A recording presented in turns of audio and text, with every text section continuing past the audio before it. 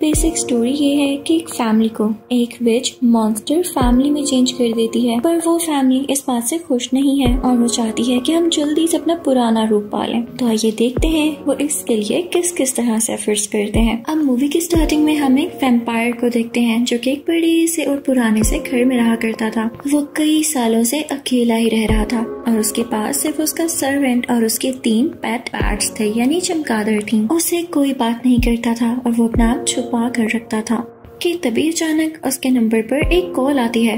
Vampire काफ़ी हैरान होकर कॉल उठाता है कि मुझे किसने कॉल कर ली? दूसरी तरफ़ एक लड़की होती है। वो समझती है कि ये वेम्पायर शायद एक फिक्शनल कैरेक्टर है।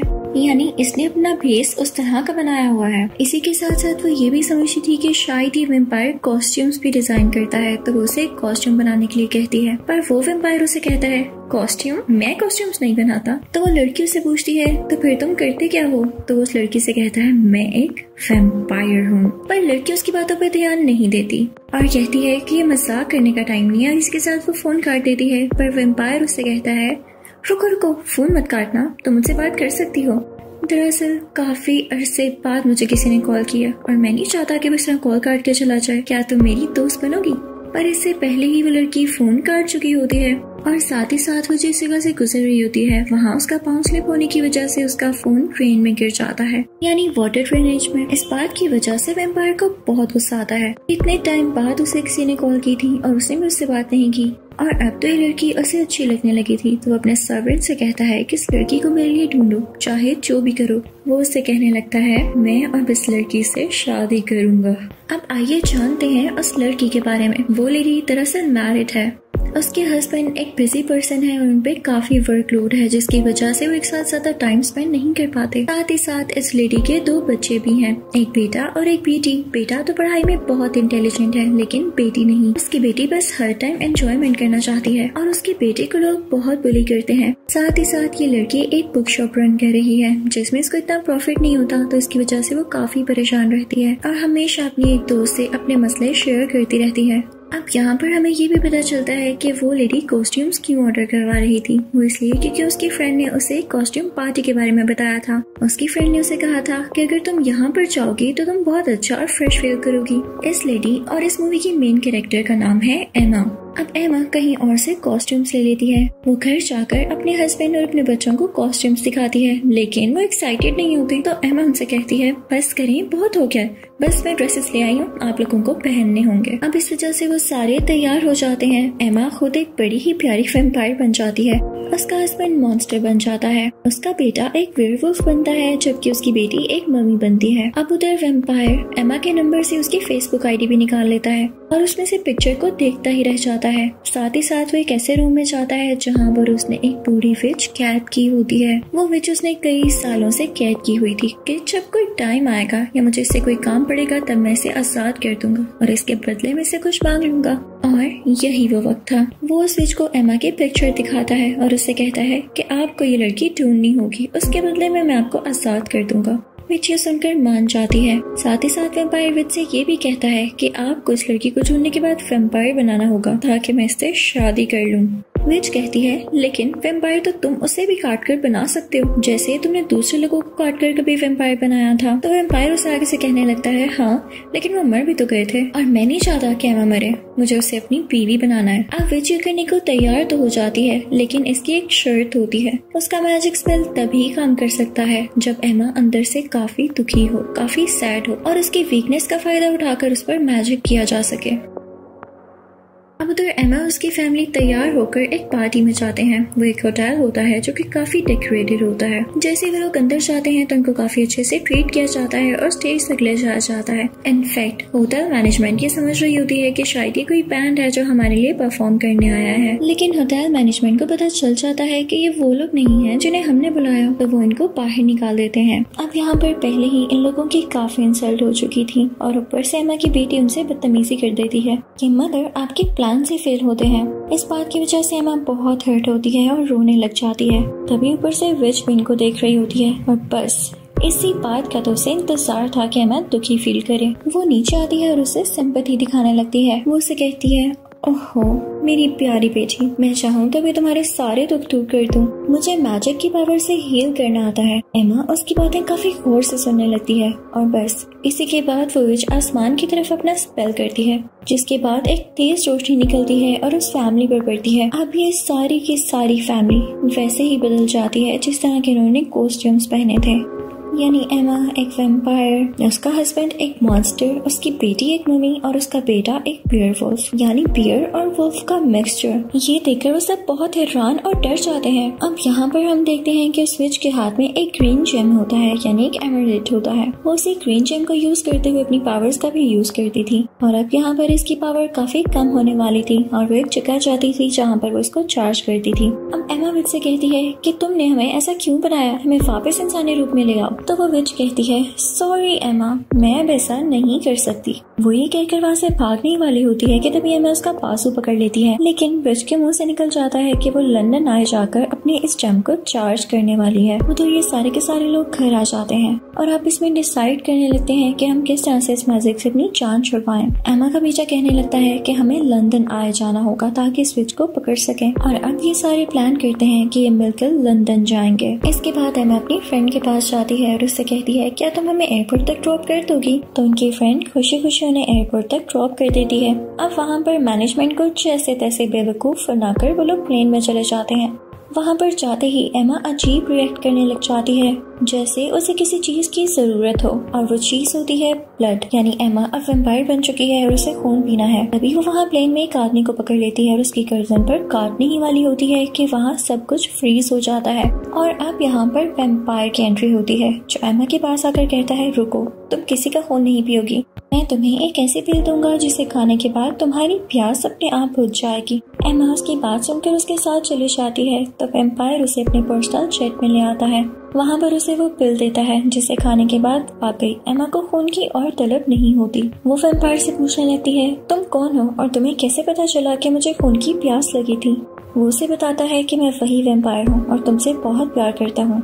वो उसे ये भी बताता है कि तुम भी अब वेम्पायर बन चुकी हो और तुम्हें बार बार फ़ोन की प्यास लगेगी। और इसकी वजह से मैं हमेशा तुम्हारी मदद करूँगा। तुम अब ज़मीन पे नहीं जा सकती, यानी इंसानों के बीच में नहीं रह सकती तो तुम्हें मेरे साथ ही रहना होगा। अब एमर उसकी बातों में आने वाली होती है कि तभी अचानक से उसे अपनी फैमिली का ख्याल आता है और वो वेम्पायर से रिक्वेस्ट करती है, नहीं, मैं तुम्हारे साथ नहीं रह सकती। मुझे प्लीज़ अपनी फैमिली के पास वापस छोड़ आओ ये सुन के वेम्पायर को गुस्सा आ जाता है कि इसका दिल तो कहीं से भी मेरी तरफ़ आ ही नहीं रहा। तो वो उसे जेट से नीचे फेंक देता है और वो बिल्कुल लंदन आय के पास गिरती है, जहाँ पर उसकी फैमिली पहले से ही है। उधर वो सब एक दूसरे के साथ मिलकर बहुत खुश होते हैं कि तभी उनका सामना उसे विद से हो जाता है। एमा उसे गुस्से से कहती है, हम तुम्हें ढूंढते ढूंढते यहाँ तक आ गए हैं। जैसे तैसे करके हम सबको वापस से ठीक करो। पर विच उनकी एक नहीं सुनती। और उन्हें गायब करके इजिप्ट के एक अजीब से रेगिस्तान तक पहुँचा देती है। अब जब वो मैजिक करने के बाद पीछे मुड़ती है तो देखती है की एमा की दोस्त वहाँ पर है। अब एमा की दोस्त विच को पकड़ने वाली होती है, लेकिन विच खुद को गायब कर लेती है।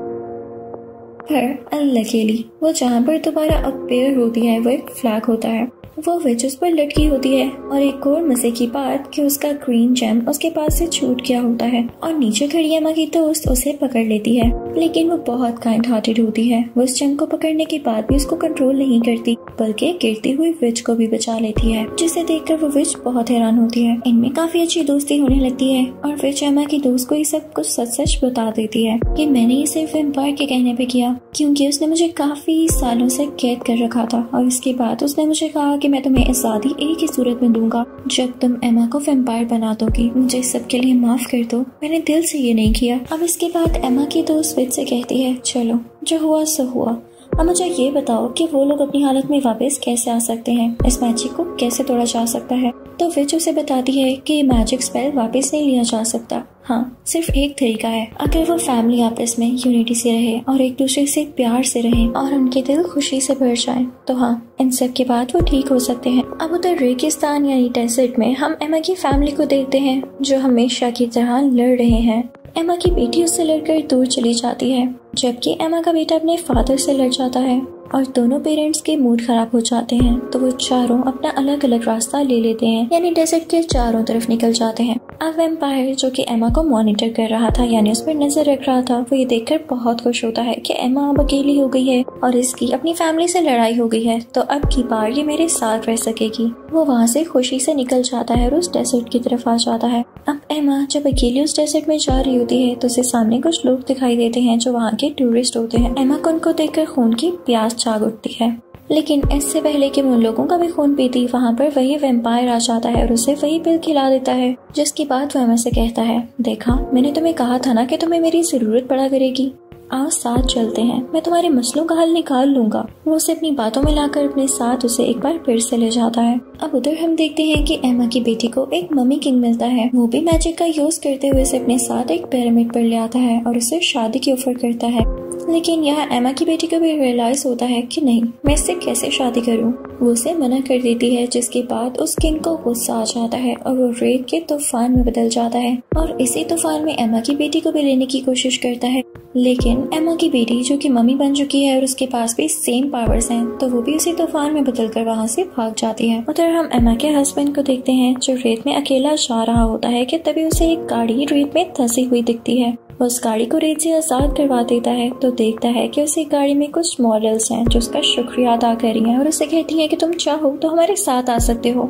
एमा का हस्बैंड हँसी खुशी उनके साथ चल पड़ता है। और वो मॉडल्स और एमा का हस्बैंड एक होटल में चले जाते हैं। अब दूसरी तरफ़ से एमा का बेटा भी जैसे तैसे करके उस होटल में ही पहुँच जाता है। अब उधर हम देखते हैं कि वेम्पायर अपने साथ एमा को उसी मैंशन में ले आया है और उसे अपना कमरा दिखाता है। वो कमरा बहुत बड़ा और खूबसूरत होता है, जिसे देखकर एमा का दिल मेल्ट हो जाता है और वो वेम्पायर के साथ रहने के लिए मान जाती है। क्योंकि वेम्पायर ने उसे काफ़ी समझाया होता है कि तुम अब एक वेम्पायर हो, तुम कभी इंसान नहीं बन सकती। और अगर इसी हालत में तुम अपनी फैमिली के साथ रहोगी तो उन्हें भी नुकसान पहुंचाओगी। तो इससे अच्छा तुम मेरे साथ ही रह लो। अब इसी खुशी में जब वो अपने कमरे में जाती है और बेड पर उछलने लगती है तो अचानक से उसकी खुशी मिट्टी में मिल जाती है। जब उसके सामने उसकी फैमिली का फेस आने लगता है, यानी उसे यहाँ पर एक बार फिर से अपनी फैमिली का ख्याल आने लगता है। वो वहीं पर रुक जाती है और तभी वो देखती है कि उसकी दोस्त और वही फिच वहाँ पर आए हैं। वो उन्हें देखकर फिच पर गुस्सा होने लगती है, लेकिन उसकी दोस्त उसे समझाती है कि ये फिच अब हमारे साथ है। इसे समझ आ गया है कि क्या गलत है और क्या ठीक है। अब वो विच अपने मैजिक से एमा के बाकी फैमिली मेंबर्स को भी वहाँ पर बुला लेती है। अब तभी यहाँ पर ट्रैकुला का, यानी वेम्पायर का सर्वेंट भी आ जाता है। वो उन्हें आकर बताता है कि वेम्पायर बहुत गलत सोच रहा है। क्योंकि वेम्पायर सनलाइट से डरते हैं तो वो ये सोच रहा है कि वो पूरी की पूरी दुनिया को फ्रीज कर देगा। और उससे पहले तो वो सन को फ्रीज करेगा, ताकि यहाँ तक सनलाइट ना सके। और तुम खुद सोचो, जब सूरज नहीं होगा तो दुनिया वालों का क्या होगा? इस वजह से मेरी भी जान चली जाएगी। तो मैं क्यों वेम्पायर का साथ दूँ? अब यहाँ पर ये सर्वेंट भी लोगों के साथ मिल जाता है। वो सर्वेंट उन्हें ये भी बताता है कि इस वक्त वेम्पायर बाथ ले रहा है, ताकि वो जवान हो सके। और यही वो वक्त है जब वेम्पायर सबसे वीक है। तो अगर तुम लोगों को उस पर अटैक करना है तो ये अच्छा वक्त है। अब वो सब लोग डिसाइड करते हैं कि वो वेम्पायर के पानी में हॉली वाटर मिला देंगे, जिसके बाद वो और वीक हो जाएगा और खत्म हो जाएगा। या कम से कम उसकी पावर्स उसे छीन ली जाएँगी। अब ये सब हॉली वाटर लेके उस तरफ़ करते हैं जहाँ पर वेम्पायर नहा रहा है। लेकिन वेम्पायर को खबर हो जाती है और वो उनको फ्रीज कर देता है और अपना कैदी बना लेता है। उसके बाद वेम्पायर उन्हें एक ऐसी मशीन दिखाता है जो दुनिया और सन को फ्रीज करने वाली है। साथ ही साथ वो अपने सर्वेंट और विश को भी एक साथ कैद कर देता है और उन्हें कहता है कि तुम लोगों को आज़ाद करना ही नहीं चाहिए था। उधर हम एमा की फैमिली को देखते हैं, जो कि काफ़ी रिग्रेट कर रहे होते हैं कि वो हमेशा से लड़ते आए। और अब जब वो सारे मुश्किल वक्त में तो एक दूसरे को गले से लगा लेते हैं और कहते हैं कि जो भी हो जाए, अब हम एक दूसरे का साथ नहीं छोड़ेंगे। हम मिलकर इसके अगेंस्ट लड़ेंगे। अब बस ये करने की देर थी कि उनका रूप दोबारा से वैसा ही होने लगता है जैसे पहला था। यहाँ पर उन पर किया गया मैजिक स्पेल रिवर्स हो गया था और वो इंसान बन चुके थे और साथ ही साथ उनके दिलों में इनके लिए प्यार भी आ चुका था। तभी हम देखते हैं कि वेम्पायर के पेट बैट्स वो भी काफ़ी उदास होते हैं और सोचते हैं कि क्यों ना अब भी हम इन लोगों के साथ मिल जाएँ। अभी भी वक्त है। वरना वेम्पायर की कैद में रह के यहाँ एक ही जगह रहना है। वो पेट्स उन लोगों के पाओ में बंधी हुई चेन्स को खोल देते हैं। अब ये सारे के सारे मिलके वेम्पायर के पास जाते हैं। लेकिन जैसे ही वेम्पायर अपने हाथ उठाता है की उनको दोबारा से फ्रीज कर सके उसके पेट पैट्स दोबारा से उसके हाथ पर जाकर काट लेते हैं, जिसकी वजह से वो अपना मैजिक ही नहीं कर पाता। तभी वेम्पायर को गुस्सा आ जाता है और वो एक अजीब सी क्रिएचर में बदल जाता है और उन सब पर अटैक करने वाला होता है। लेकिन वो सोचता है कि मैं खुद इन पर क्यों अटैक करूँ? जिसका उसे इंतज़ार है। वो तो चीज़ हो चुकी है। यानी सूरज निकल आया है तो वो डायरेक्ट उस मशीन का बटन प्रेस करने वाला है, जिसको दबाते ही वो सूरज फ्रीज हो जाएगा। अब जैसे उस बटन की तरफ़ बढ़ता है तो एमा को एक आइडिया आता है। वो उस रूम में लगे गए कर्टन को हटा देती है, जिसकी वजह से सूरज की रोशनी अंदर आने लगती है और उस वेम्पायर पर पड़ने लगती है, जिसकी वजह से उसका जिसम चलने लगता है और वो पीछे हट जाता है। इसके बाद एमा वहाँ से एक स्नो फ्लेक लेती है और उसे वेम्पायर की तरफ़ उड़ा देती है, जिसके बाद वो वेम्पायर अपने ही चाल में फंस जाता है। यानी खुद ही फ्रीज हो जाता है। अब मूवी के लास्ट में हमें दिखाया जाता है कि एमा और उसकी फैमिली खुशी खुशी रह रहे हैं। एमा का हस्बैंड भी अब ऑफ़िस से जल्दी घर आने लगा है। वो लोग अपने घर में एक पार्टी रखते हैं, जिसमें एमा के दोनों बच्चे बहुत एंजॉय कर रहे होते हैं। लेकिन तभी दरवाजे पर उन्हें एक शेडो दिखाई देता है, जो कि वेम्पायर का था, पर जैसे ही वो शेडो थोड़ा आगे बढ़ता है तो हमें पता चलता है कि वो सर्वेंट और विच है। और सर्वेंट ने अपने सर पर कुछ फेक कान लगाए हुए थे, जिससे लग रहा था कि वेम्पायर का शेडो है। उनके साथ साथ वो तीन बैट्स भी होती हैं जो कि पार्टी इंजॉय करने आए थे। कई मूवी के लास्ट सीन में हम देखते हैं कि वो फैमिली यानी एमा उसके हस्बैंड और उनके दोनों बच्चे एक साथ फैमिली फ़ोटो ले रहे होते हैं। और आइंदा से ये लोग एक साथ बहुत खुश रहने वाले हैं। इसी के साथ ये मूवी यहीं पर एंड हो जाती है।